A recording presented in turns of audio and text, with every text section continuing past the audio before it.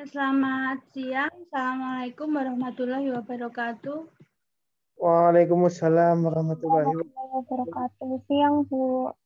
Siang. Tadi sudah dibaca apa belum materi tentang grafimetri?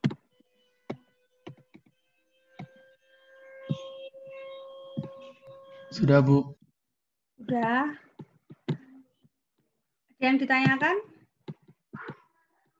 Pendahuluannya ya, grafimetri. Kalau kemarin itu kita belajar tentang volumetri atau titrasi volume. Nah, itu kan berarti kita menganalisa dengan pengukuran volume, volume larutan standar dalam hal itu kemarin. Nah, kalau grafimetri apa? Kita menganalisa suatu sampel dengan metode apa? Berdasarkan masanya.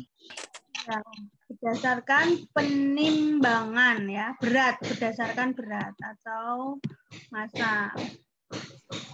Ya, untuk menentukan jumlah, jadi kan ini analisa kuantitatif ya untuk menentukan jumlah berdasarkan penimbangan. Dalam hal ini penimbangan hasil reaksi setelah bahan yang dianalisa. Nah, menim, uh, yang ditimbang apa? Nah, yang ditimbang itu bisa berupa sisa bahan, ya sisa bahan bisa berupa suatu gas yang terjadi atau terbentuk, kan melibatkan reaksi ya, atau berupa suatu endapan kita akan belajar yang sudah akan kita yang sudah kalian praktekkan ya. Itu adalah yang ini. Menimbang suatu endapan. Ini harusnya kalian praktekkan di praktikum kimia analisa ya. Tetapi karena praktikum pun juga virtual ya kalian ya membayangkan apa yang kalian lihat ya di video. Jadi bisa tiga ini ya. Grafimetri itu artinya menimbang, yang ditimbang bisa sisa bahan, suatu gas, atau suatu endapan yang terbentuk. Nah, berdasarkan hasil yang ditimbang, grafimetri dibedakan menjadi cara evolusi dan cara pengendapan. Nah, cara evolusi adalah mereaksikan ya kemudian timbul suatu gas. Caranya memanaskan bahan tersebut atau mereaksikan dengan suatu bereaksi. Pada umumnya yang kita cari adalah banyaknya gas yang terbentuk. Cara evolusi ini bisa secara tidak langsung atau secara langsung secara tidak langsung bisa seperti ini. Zat ditimbang sebelum dan setelah reaksi. Nah, berat gas adalah selisih berat sebelum dan setelah reaksi. Contohnya pemanasan karbonat, ya penentuan karbonat. Nah, berat gas yang terbentuk dalam hal ini kalau karbonat gas CO2, nah berat gasnya adalah berat sebelum pemanasan dikurangi setelah pemanasan. Jadi sebelum pemanasan tuh malah lebih besar. Tuh, ada yang kuliah sambil dengerin musik tuh siapa? Ketahuan ya.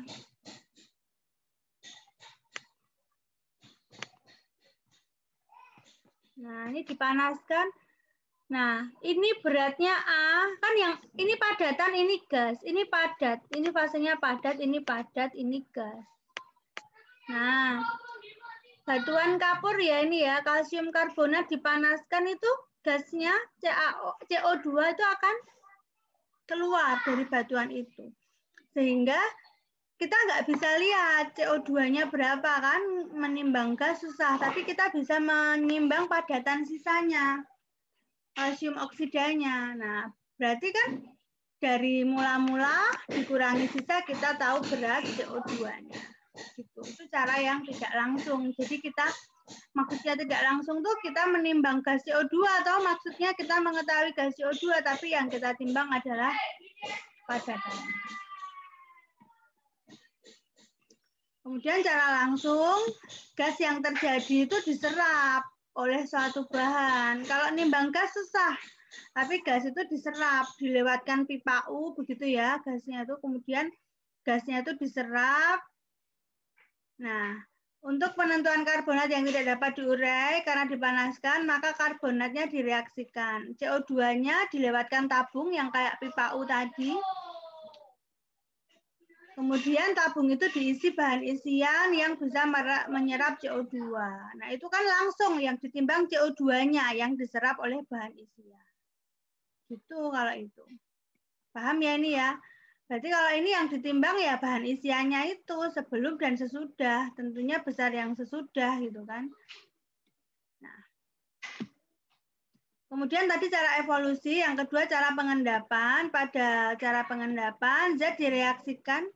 Jadi zat sehingga direaksikan untuk membentuk endapan. Jadi endapan itu sengaja untuk dibuat Nah, berdasarkan cara yang cara membentuk endapan, endapan bisa dibentuk melalui reaksi kimia, itu yang A. Nah, yang kedua secara elektrokimia atau elektrogravimetri. Yang akan kita bahas perhitungannya adalah yang ini. Kita sengaja membentuk endapan dengan reaktan ya, dengan reaktan. Endapan itu cara memisahkan gimana? Nah, ini sampel zat X dilarutkan, kemudian ditambah pereaksi reaktan yang lain. Akan timbul endapan di sini, endapan. Nah, cara memisahkan endapan dari semua larutan itu gimana caranya?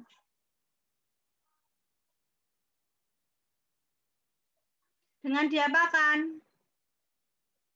Ini gampang loh, dengan di disaring aja pakai corong ya pakai corong ini corong kemudian atasnya diberi saya kasih ungu. Kertas saring kertas saring. Nah ini dituangkan di sini.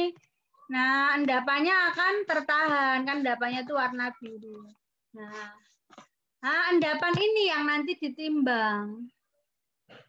Endapan warna biru itu tadi nanti ditimbang. Kita timbang waktu praktikum kan di praktikum kimia analisa ada analisa batu kapur tuh ya ini ya gitu ya di, sengaja sengaja kita buat endapan kapur gitu. Nah berarti langkahnya ini kertas saring. Kertas saring yang masih kering kalian timbang. Terus kan kelompok yang lain sengaja membuat endapan ya. Nah kertas saring ini dilipat kayak gini. Dilipat jadi empat gini Nah, nah jadi membentuk corong kayak gini. Nah ini dimasukkan ke dalam corong. Nah si larutan tadi dituang. Nah endapannya tertahan di sini kan? Tertahan di sini kemudian dikeringkan di oven sampai mengering sampai kita peroleh berat yang konstan kan menguap tuh sampai kering. Kering tuh gimana ditandainya dengan berat yang konstan kan di, di oven terus. Nah, kita timbang. Itu adalah kadarnya. Nah, itu bayangannya. Sampai sini teori pengendapan paham? Paham, Bu. Gravimetri cara pengendapan ya. Proses gravimetri itu sampel tadi sengaja direaksikan dengan suatu reaksi. Ini diulang-ulang terus ya. Sehingga terbentuk senyawa yang mengendap. Jadi senyawa itu sengaja kita endapkan. Nah, endapan yang ditimbang tadi dapat dihitung banyaknya senyawa yang dicari. Jadi dari endapan yang kita timbang itu dapat kita mencari persen senyawa yang kita cari. Nah, misalnya ini ada A itu analit, analit itu sampel. Analit sengaja direaksikan dengan reaktan, bereaksi, sengaja untuk membuat endapan AARR. Ini simbolnya saja. Jadi ini mengendap, ini solid. Solid ya, endapan. Ini sampel, ini pereaktan. Gitu ya. Berat A dibagi berat sampel dikali 100% kan sama dengan persen A. Gitu ya. Beratnya A dibagi berat sampel kali 100% itu sama dengan berat A. Nah, padahal yang kalian peroleh dalam praktikum itu kan bukan beratnya A. A ini adalah sampel kotor, sampel yang kamu pengen tahu A-nya berapa. Contohnya garam dapur, NaCl. Itu kan tidak NaCl 100%. Justru kamu mau tahu NaCl ini berapa persen. Nah, maka kita katakan A ini adalah sampelnya. Nah, ini adalah endapan yang kita bentuk. Nah, ini maksudnya kita suruh nyari persen A dari sampel A-nya berapa, tapi yang kita peroleh endapannya adalah endapan AARS. Nah, padahal yang ditanyakan persen A atau bukan persen AARS. Nah, persen A-nya berapa? Persen A berat A per berat sampel kali 100. Nah, berat A gimana? Oh, berat A itu ternyata berat endapan dikalikan faktor gravimetri. Nah, berat endapan. Jadi kita bisa tahu berat A dari berat endapan dengan cara dikalikan dengan faktor gravimetri. Nah, apa toh faktor gravimetri itu? Nah, ini yang penting. Yang disebut faktor gravimetri adalah berat BM. Berat yang dicari dibagi berat formula zat yang ditimbang. Maka berat yang dicari adalah berat yang ditimbang tadi kali faktor gravimetri. Nah, ini yang ini udah kayak tadi, ini rumus ini udah kayak tadi. Nyari berat yang dicari kan tadi nyari berat A. Berat A sama dengan berat endapan AARR kali faktor gravimetri. Nah, faktor gravimetri adalah BM zat yang dicari, tadi A dibagi BM zat yang ditimbang.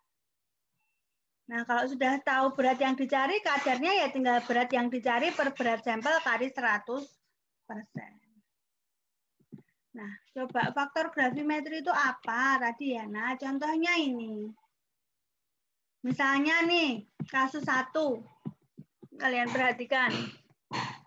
Ini nomor satu. Nah, ini ada contoh berat yang ditimbang AgCl. Yang dicari adalah Cl. Jadi ini soalnya adalah berapa kadar Cl dari garam dapur misalnya ya. Nah, maka garam garam dapur itu kan NaCl. Nah, kita reaksikan dengan apa? Misalnya, endapannya kan AgCl. Biar mengendap jadi AgCl, misalnya kita reaksikan dengan AgNO3. Nah, kan hasilnya AgCl ya, salah satunya. AgCl ini mengendap plus uh, NaNO3 gitu ya. Nah,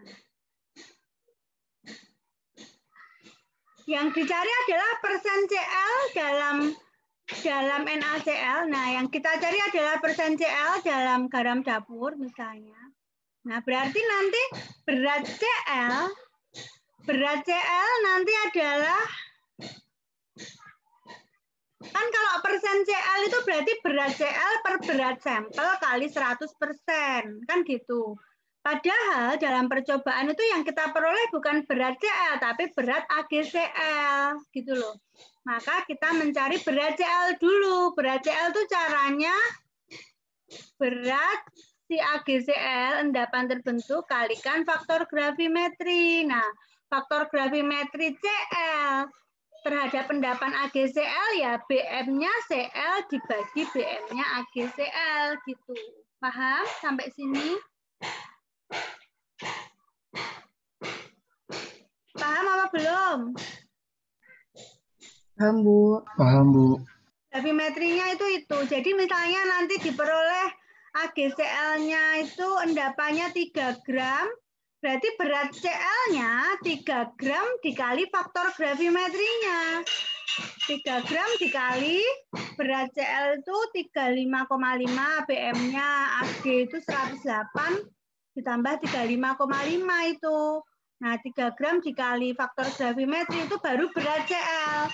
Pertanyaannya persen CL, berarti persen CL ya beratnya CL per berat sampelnya NaCl. Nah, kali 100.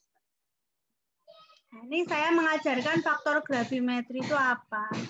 Misalnya, itu tadi sudah ya contohnya. Yang ditanya ini persen NaCl, jadi soal itu bisa macam-macam. Tadi soalnya sama. Soalnya sama-sama garam dapur, yang A ditanyakan persen CL, berarti caranya kan berat CL per berat uh, sampel ya. Nah, berat CL-nya diperoleh dari berat AgCl dikali faktor gravimetri. Nah, kalau yang ditanyakan B, misalnya persen NaCl. Ya, berarti kan tadi kalau tadi nyari berat Cl, nah sekarang nyari berat NaCl dari endapan AgCl. Nah, berat NaCl berarti beratnya AgCl dikalikan faktor gravimetrinya. NaCl terhadap AgCl. Faktor gravimetrinya apa? Ya NaCl per AgCl BM-nya. NaCl itu Na23, Cl 35,5. Berarti 58,5 per 108 tambah 35,5 itu berapa? 142,5. Nah, ini faktor gravimetri. Misalnya contoh lain kalau yang C ini. Nah, yang ditimbang itu endapannya BASO4 terbentuk. Yang ditanya persen sulfur. Maka ya nanti berat S sama dengan berat BaSO4 dikalikan faktor gravimetrinya. BM-nya S dibagi BM BaSO4. Nah, perhatikan yang keempat ini. Endapan yang terbentuk dalam praktikum itu Fe2O3. Dan yang dicari persennya persen Fe. Nah, perhatikan angka 2 di sini. Maka faktor gravimetrinya 2 dikali Fe dibagi Fe2O3. Jadi kita lihat Fe-nya di atas 2, eh di bawah 2, di atas ya dikalikan 2. Berarti 2 kali 56 itu BM-nya FE ya yang atas, yang bawah 2 kali 56 ditambah 3 kali 16. Mau yang ditanyakan persen FEO ya sama.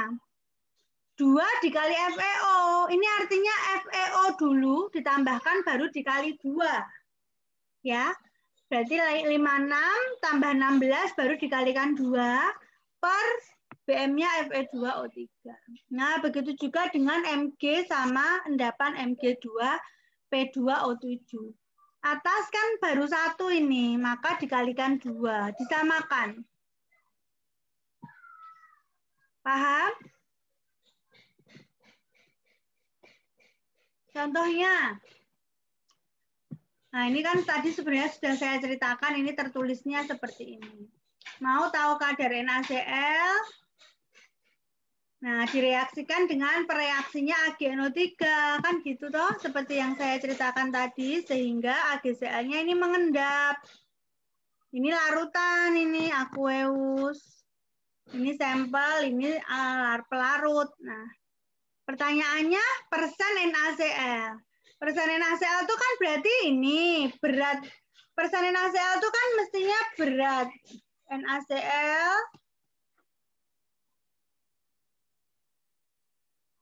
per berat sampel ya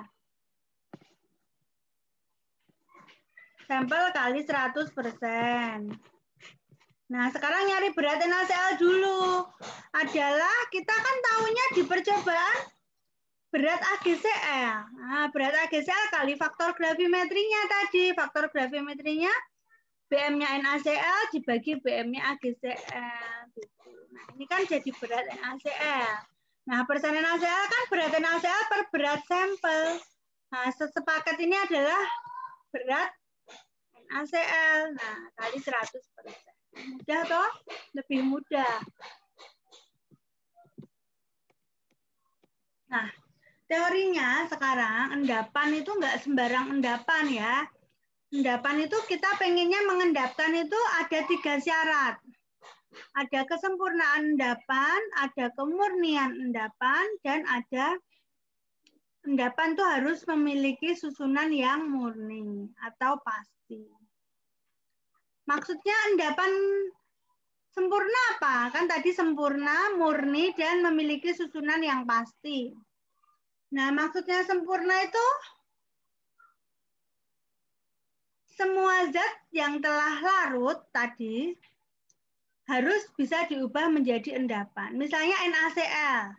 Kita pengen tahu kadarnya Cl. Nah, NaCl yang telah dilarutkan tadi ditambah AgNO3, nah semua Cl itu harus bisa diendapkan menjadi AgCl. Kalau ada yang tidak mengendap gimana? Kan kita mau mencari persen Cl. Kalau tidak ada ada yang tidak mengendap, ya berarti artinya nanti akan ada kesalahan negatif. Kan kita tahunya dari endapan yang terbentuk. Kalau ada Cl yang tidak membentuk AgCl, berarti ada Cl yang tidak terbaca kadarnya. Gitu. Maka disebut kesalahan negatif. Paham ya? Itu maksudnya. Jadi semuanya harus terbentuk endapan. Kemudian setelah membentuk endapan harus tidak mudah larut atau kelarutan harus sekecil mungkin. Nah, hal ini dapat dicapai. Nah, tadi prakteknya ini kan harus didukung dengan praktikum mestinya pelajaran kimia analisa itu. Nah, tadi harus bisa didukung dengan sifat endapan itu sendiri. Misalnya ada ion Cl, itu kalian jangan mencari reaktan yang endapannya nanti mudah larut. Contohnya, Cl itu akan mudah menjadi endapan ketika eh, endapannya itu AgCl. Gitu. Ada contoh kalau PBCl itu dia larut dalam air agak panas sedikit. Nah, kan kita nggak boleh. Endapan itu maunya kita bentuk endapan semua kita timbang sehingga Cl tadi terbaca dalam endapan jumlahnya berapa.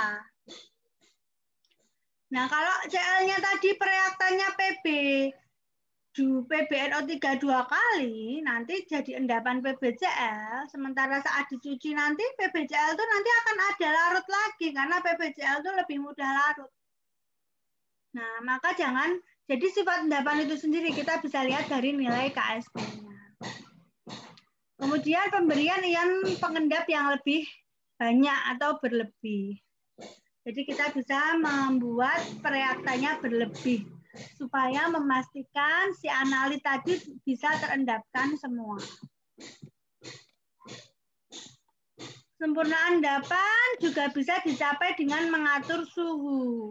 Karena kelarutan itu fungsi suhu. Nah, makanya kita menggunakan suhu yang rendah saja.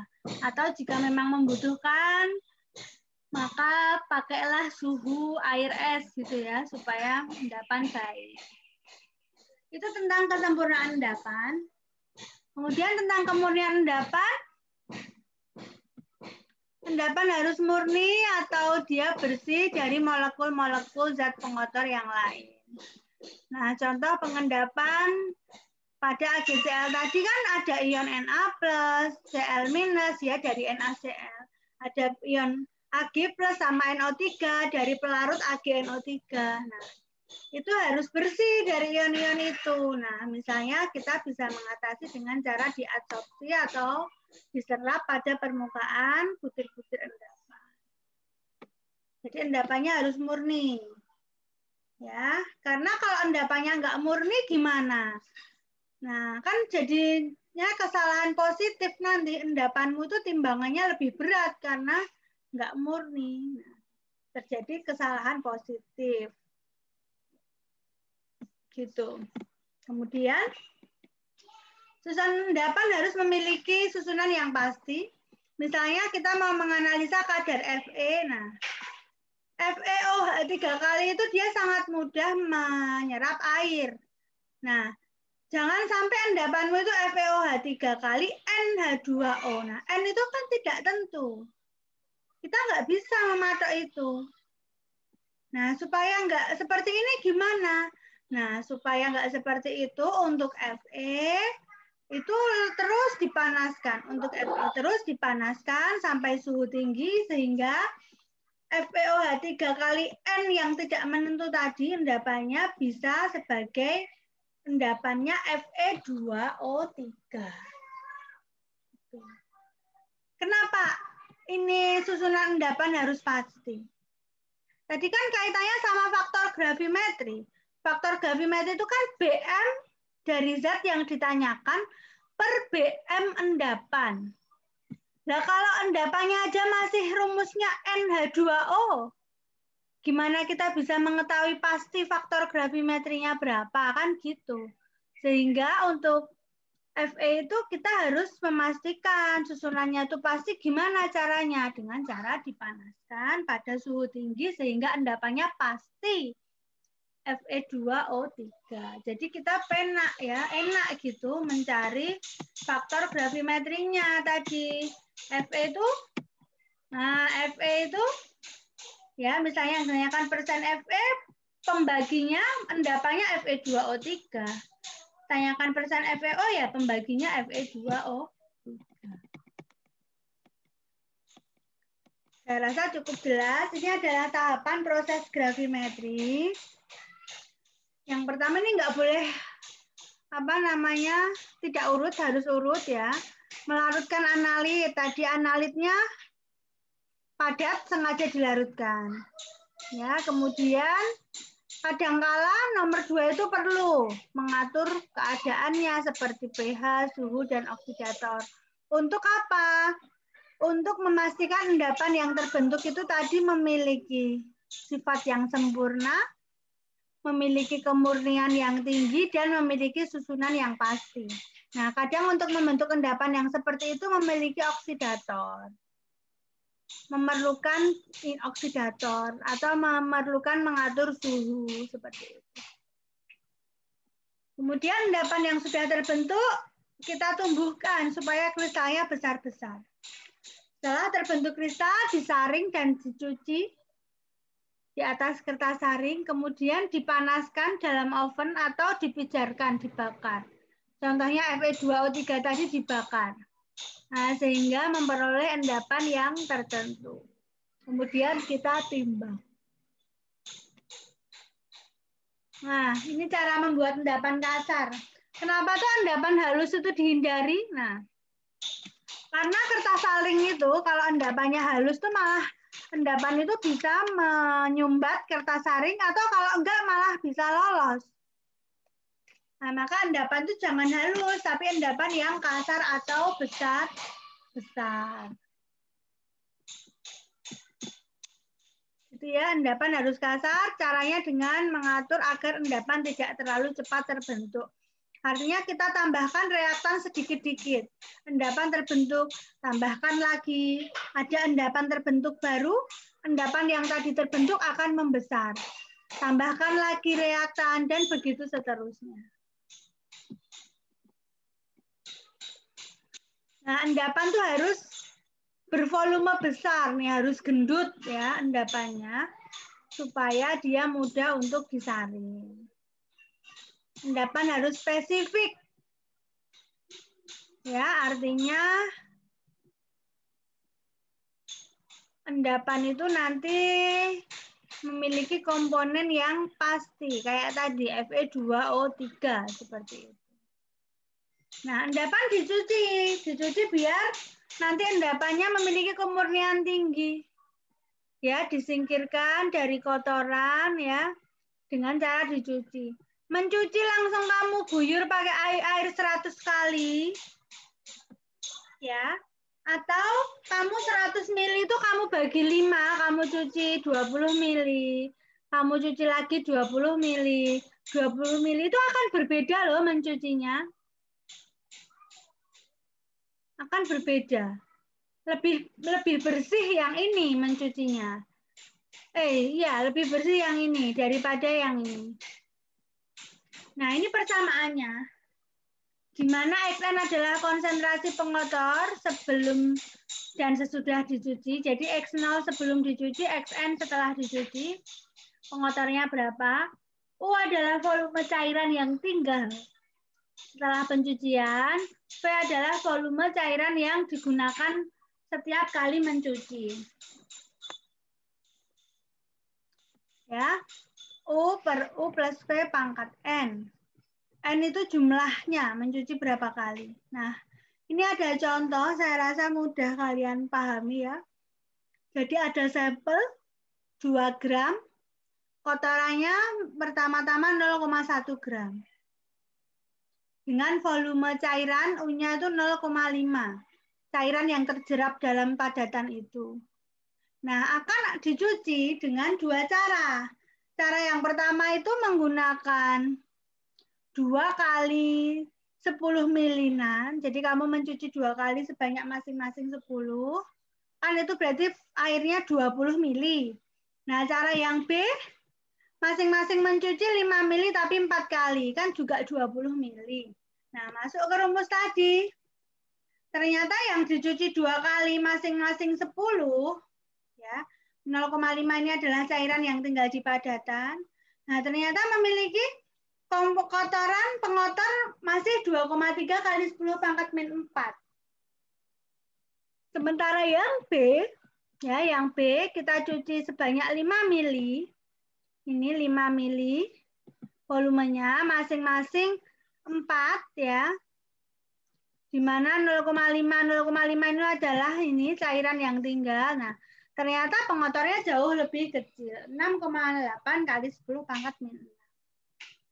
Jadi mencuci endapan itu juga ada triknya. Ya. Nah, endapan kemudian disaring pakai kertas saring ya menggunakan cawan atau cawan perselen gitu ya. Nah, kelemahan kertas saring tadi kan saya bilangnya pakai kertas saring. Kertas saring itu tidak inet, jadi kadang kalau untuk zat-zat tertentu dia mengalami uh, teroksidasi. Nah, kekuatannya kurang. Kadang kalau kita aduk-aduk di atas kertas saringnya itu sobek. Kemudian dia dapat mengabsorpsi bahan-bahan larut. Pendinginan ini ya sebelum ditimbang itu didinginkan dulu. Kan namanya sampel dipanaskan itu kan merekah ya, pori-porinya membuka. Nah, supaya kalau habis dari kepanasan di oven kita keluarkan begitu saja, pori-pori yang membuka itu akan mudah menyerap uap air. Nah, sehingga nanti penimbangannya salah, yang tertimbang uap air gitu. Nah, maka sebelum ditimbang dari oven itu didinginkan dulu dalam namanya desikator atau eksikator. Eksikator itu hampa soalnya, ruangannya itu diisi bahan isian sehingga hampa, tidak ada uap air dan udara.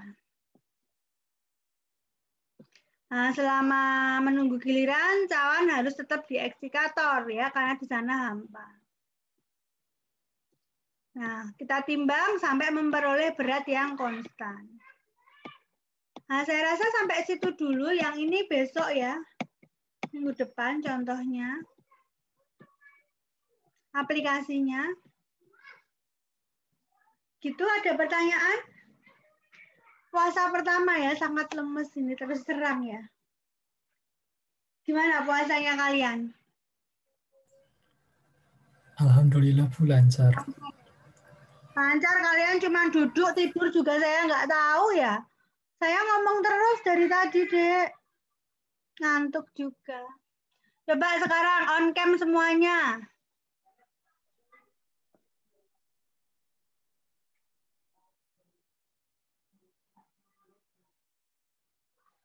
Coba yang enggak on cam tuh tidur berarti yang bilang Alhamdulillah Bu itu saya tuh lemes loh dek. Coba Naim mana? Safa. Vincent.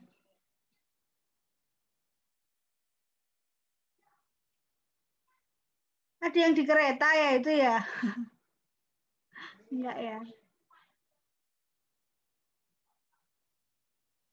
Oh, tuh Naim toh sama Vincent. Eh, padahal Naim biasanya langsung komentar ya, saya jelasin apa. Ini saya panggil dia belum nongol. Ayo Naim sama Vincent mana? Nih ya, saksi ya, teman sekelas ya. Yang katanya kuliah, tapi dipanggil enggak? Enggak nyaut. Nah, ini kuliah apa enggak gitu. Tuh kan, Naim benar-benar enggak kuliah nih. Nah, Vincent dari mana, Vincent?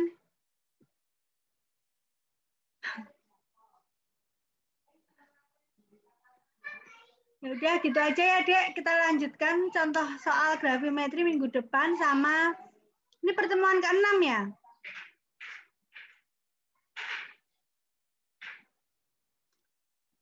Jadi besok minggu depan kita latihan soal grafimetri sama uh, latihan soal UTS.